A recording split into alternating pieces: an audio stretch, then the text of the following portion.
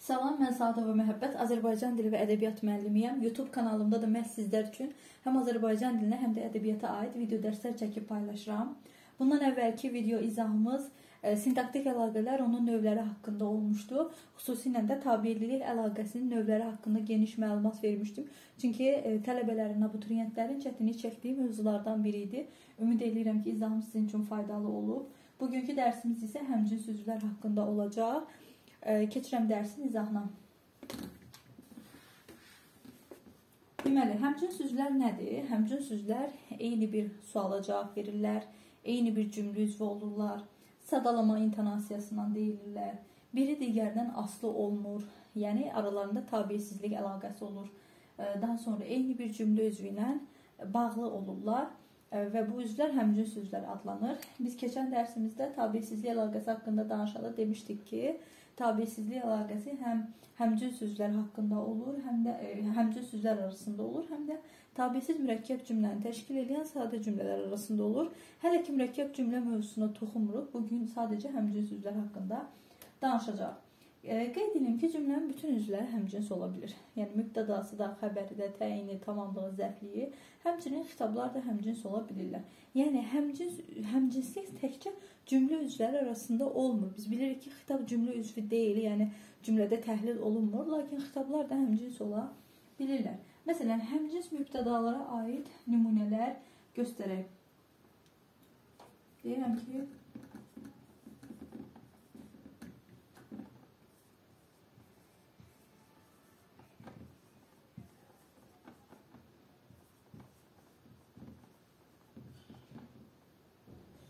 Müəllim və şagirdlər sevindilər.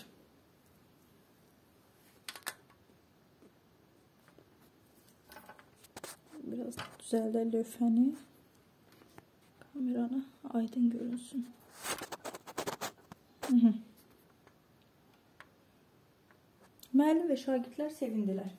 Xəbərimiz sevindilər. Kim sevindi? Müəllim kim sevindi?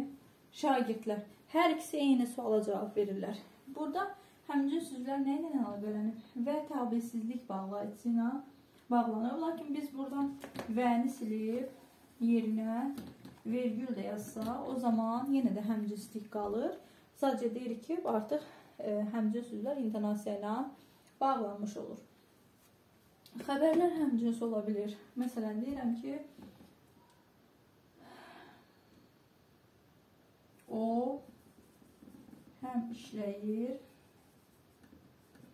həm də oxuyur. O həm işləyir, həm də oxuyur. Xəbərimiz, xəbərlərə baxaq. Nə edir, işləyir, nə edir, oxuyur. Kim? O.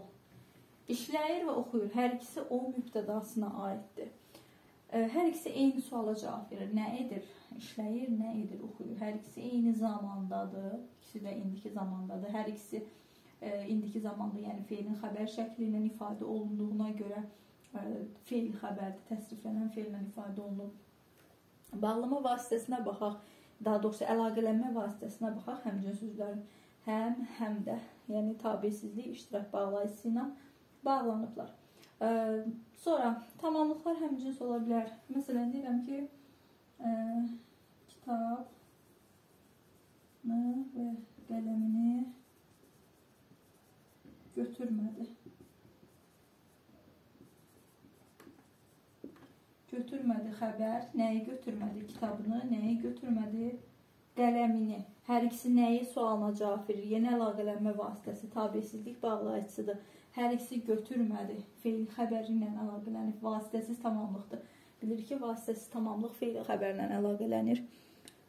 Sonra, ə, e, məsələn, deyirəm ki, Bu vasitəsiz tamamlıqlar həmcins oldu. Vasitəli tamamlıqlar da həmcins ola bilir. Məsələn, deyirəm ki,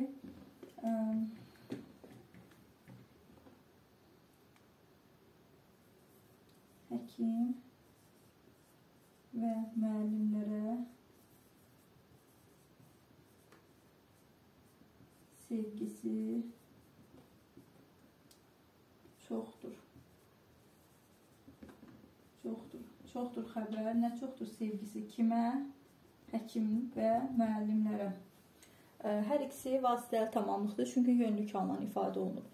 Tamamlıqlarda bax həmcinsliyi axtararkən fikir vermək lazımdır ki, ya ikisi də vasitəsiz olsun, ya da ikisi də vasitəli olsun. Yəni bir cümlədə vasitəli və vasitəsiz tamamlığın ikisi də iştirak eləyə bilər. Amma bu o demək deyil ki, onlar həmcinsdir. Yəni vasitəli ilə vasitəli, vasitəsizlə də vasitəsiz həmcins olur dolayısıyla. Məsələn deyirəm ki, ə, sənə ə, şəkli vermədi. Vermədi xəbər, nəyi, şəkli, kimə, sənə. Gördüyümüz kimi bu cümlədə iki tamamlıq var. Biri sənə vasitəli tamamlıqdır. Şəkli isə vasitəsiz tamamlıqdır. Ə, yəni bunu biz deyə bilmərik ki, bu cümlədə həmcins tamamlıq var. Çünki sualları fərqlidir. Yəni biri nəyə sualına cavab, biri kimə sualına cavab verir, biri nəyə sualına cavab verir. Daha sonra biri vasitəlidir, biri vasitəsizdir. Aydındırmı? Yəni tamamlıqlar sadəcə özləri öz aralarında həmcins ola bilərlər. Vasitəli ilə vasitəsi biz heç vaxt həmcins götürə bilmərik. Sonra, məsələn, xəbərlərdə də belədir. İsmi xəbərlə feili xəbər heç vaxt həmcins ola bilməz. Yəni, hər ikisi ya feili xəbər olmalıdır, ya da hər ikisi ismi xəbər olmalıdır. Təyinlər və zərfliklər də həmcins ola bilir.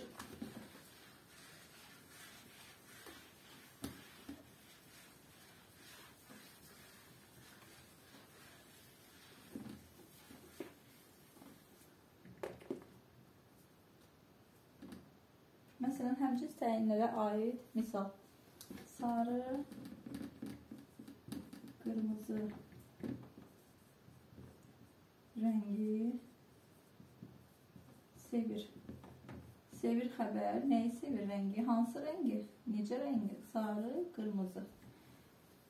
İkisi də rəng bildirən sifətlə ifadə olunub. İkisi də rəng sözü ilə əlaqələnib. Axı biz deyirik ki, həmcins sözlər eyni cümlə üzvü ilə əlaqələnir. İkisi də eyni suala cavab verir. Həmcins təyinlərdir bunlar. Sonra həmcins zərfliklər də ola bilər. Məsələn deyirəm ki, dünən və bu gün külək külək əsdi. Əsdi xəbər, nə əsdi külək, nə zaman? Dünən, nə zaman? Bugün. Hər ikisi e, nə zaman sualına cavab verir? İkisi də zaman zərfli idi. İkisinin ifadə vasitəsi zaman zərfidir. E, ikisi də əsli feil xəbəri ilə əlaqələnib. E, bax, e, eynən tamamlıqlarda olduğu kimi zərflikləri də həmcinsliyi seçərkən baxmaq lazımdır ki, eyni məna növü olsun. Məsələn, zaman zərfliyi ilə heç vaxt tərz hərəkət zərfliyini həmcins götürə bilmərik. Zamanla zaman, tərzlə tərz, yerlə yer. Yəni bu şəkildə eyni məna növləri arasında həmcinslik ola bilər. Məsələn, deyirəm ki, evə sürətlə gedirdi. Gedirdi xəbər. Necə gedirdi? Sürətlə hara gedirdi evə? Yer zərfliyi, bir də də tərzi hərəkət zərfliyidir. Bunları biz həmciz götürə bilərik heç. Əlbəttə ki, götürə bilmərik. Birinci fərqli suallara cavab verir yenə və fərqli məna növlərinə aiddir. Aydındırmı? Bu şəkildə. İndi danışaq e, biz həmciz xəbərlər və e, belə deyək, mürəkkəb cümlənin xəbərlərinin fərqləndirilməsi haqqında düzdür. Mürəkkəb cümlə haqqında danışanda biz e, yenə də bu məsələyə toxunacağıq. Yəni həmciz xəbərlərinin tabi mürəkkəb cümlənin xəbərlərini fərqləndirmək haqqında yenə də geniş şəkildə danışacağıq. Amma hal-hazırda testlərdə rast gələ bilərsiniz deyə mən istəyirəm ki, yenə də bir məlumat verim ki, fərqləndirməyi bacarasınız. Məsələn, deyirəm ki, ə, ə, külək əsdi, yarpaqlar döküldü. İndi deyirəm ki, külək əsdi, yarpaqları tökdü. Cümləyə baxanda görürük ki, yəni fərq məna cəhətdən elə güclü bir fərq yoxdur, amma gəlin sintaktik təhlilinə keçək. Birinci cümləni təhlil edək. Nə etdi əsdi, nə külək, nə etdi töküldü, nə yarpaqlar. İkinci cümləyə keçək. Nə etdi əsdi, nə nə külək, nə etdi tökdü, nəyi yarpaqları. Baxın, birinci cümlədə birinci nümunədə iki dənə cümlə var. Xəbər, mübtəda, xəbər, mübtəda. Yəni bu aydın görünür ki, hərəsinin öz mübtəda xəbəri var. Bu mürəkkəb cümlədir. Ancaq ikinci cümlədə yenə də iki dənə cümləyə oxşuyur. Sanki vergüldən sonra da başqa bir cümlə varmış kimi, amma baxırıq ki, həm əsli, həm də tökülü feillər ikisi də külək feilinə aiddir. Yəni əsən də küləkdir, tökən də küləkdir. Ona görə deyirik ki, həmcünsüzlər eyni cümlə üzvü ilə əlaqələnir. Aydındır? Burada da hər iki xəbərimiz eyni mübtəda ilə əlaqələndiyinə görə artıq biz ikinci cümləyə tabisiz mürəkkəb cümlə demirik. Artıq biz ikinci cümləyə həmcins xəbərli sadə cümlə deyirik. Daha sonra ə, e, məsələn ola bilər ki, indi ə, e, xəbərlərimiz fərqli zamanlarda olsun, amma eyni mübtəda ilə əlaqələnsin. Bəs bu zaman biz bunu həmçin sözmü götürəcəyik, yoxsa tabisiz mürəkkəb cümlə mi götürəcəyik? Yaxud xəbərlər hansı fərqli şəkillərdə ola bilər, yəni feilin şəkillərindən söhbət gedir burada. O zaman necə götürəcəyik? Deyirəm ki, o bugün gəldi, sabah gedəcək.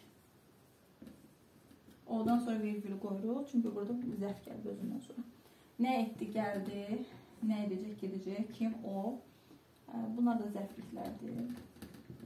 İndi baxaq. Bax burada o gəldi, o gedəcək. Hər ikisi o mübtədasına aiddir.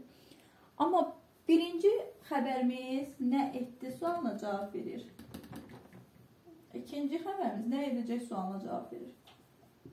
Aydındır? Yəni Birinci şudur keçmiş zamandadır gəldi feili. İkinci isə nəqli keç, e, üzr istəyirəm, qəti gələcək zamandadır. Yəni xəbərlərimiz fərqli zamanlardadır. Eyni şəkildə olsa da fərqli zamanlardadır və fərqli suallara cavab verir. Ona görə artıq biz bu cümləni həmcüsüz götürərikmi? Yox, götürmərik. Bu artıq e, tabisiz mürəkkəb cümlədir. Aydındır? Yəni həmcüs olması üçün mütləq eyni suala cavab verməlidir. Belə. Deyirəm ki, Şimdi o çalışkandır. Çox oxuyur. Necədir çalışqandır? Kim o? Nə edir? Oxuyur. Bu cümlədə də e, həm çalışqandır xəbəri, həm də oxuyur e, xəbəri o mübtədasına aiddir. Amma ə, e, birinci xəbərimiz, yəni çalışqandır necədir sualına cavab verir. İsmi xəbərdir, çünki çalışqan sifətdir. Oxuyur isə nə edir sualına cavab verir. Bu artıq xəbər şəklində ifadə olunduğuna görə feili xəbərdir. Hər ikisi o mübtədasına aid olsa da biz yenə də bu cümləni həmcins xəbərli ə, sadə cümlə götürə bilmərik. Bu tabisiz mürəkkəb cümlədir. Çünki biri ismi xəbərdir, biri feili xəbərdir və sualları da fərqlidir. Bax, e, həmcin sözlər ona görə deyilir ki, sadə kimi görünsələr də, amma əslində yəni çox da sadə deyirlər. Diqqət tələb edən nüansları çoxdur. Xüsusilə də e, qəbul imtahanlarında, universitetlərə imtahanlarda belə məsələlərdə abituriyentləri biraz e, çətinə salmağı xoşlayır Dövlət İmtahan Mərkəzi. E, əslində bir o qədər çətin məqam deyil, dediyim kimi sadəcə diqqət tələb eləyir.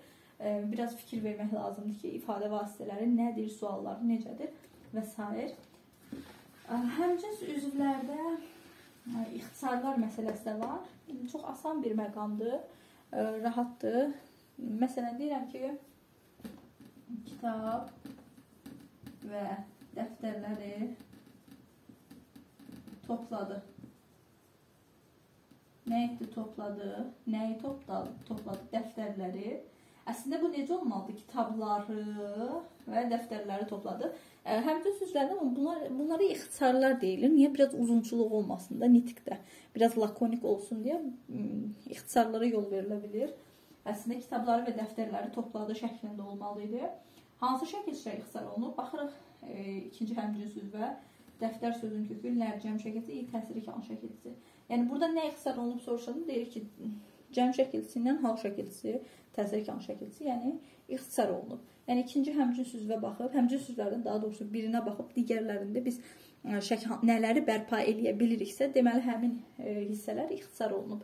E, qoşmalar ixtisar oluna bilər. Məsələn, deyirəm ki, anası və bacısı üçün hədiyyə aldı. Nə etdi aldı? Nəyi aldı hədiyyəni? Yəni kim üçün aldı? Anası, kim üçün bacısı vasitəli tamamlıqlardır. Əslində necə olmalıdır? Anası üçün və bacısı üçün hədiyyə aldı. Artıq burada qoşmalar ixtisar olunub. Məsələn, ə, şəxs onluqları ixtisar oluna bilər, iri imiş hissə hissəcikləri ə, ixtisar oluna bilər. Deyirəm ki, o oxuyur və yazırdı. Necə olmalı? Oxuyurdu bu şəkildə və yazırdı. Görürsünüz, asanlıqla bərpa edə bilirik. Yaz sözün kökü ır zaman şəkilsi, d isə idi hissəciyidir. Artıq bu cümləmizdə idi hissəciyi ixtisar olunub. Bəs nələr ixtisar oluna bilməz? Baxın, leksik şəkilçilər heç vaxt ixtisar oluna bilməz. Sonra zaman şəkilçiləri ixtisar oluna bilməz. Sonra ə, təsriflənən formanın yaxud təsriflənməyən formanın şəkilçiləri ixtisar oluna bilməz. Bax, mənsubiyyətdir, haldır, cəmdir, e, şəxs onluğudur, ixtisar oluna bilir. Edi, imiş, isə hissəcikləri ixtisar oluna bilir. Qoşmalar ixtisar oluna bilir. Bilməyənləri təkrar, yəni istəsəz qeyd kimi də yaza bilərsiniz. Leksik şəkilçilər, təsriflənən formanın şəkilçiləri, içində zaman şəkilçiləri də gedir. Onlar ixtisar oluna bilmir. E, təsriflənməyən formanın şəkilçiləri ixtisar oluna bilmir. E, bu qədər həmcə sözlər haqqında. Bundan sonraki videomuz həmcin sözlərdə ümumiləşdirici sözlər olacaq. Onu mən ayrıca bir dərs kimi çəkib paylaşacağım. Belə, kanalıma abunə olub videoya baxdıqdan sonra bəyənməyi və rəy bölməsində fikirlərinizi yazmağı unutmayın. İnşallah video sizin üçün faydalı olmuşdur. Növbəti videolarda görüşənə də hələlik.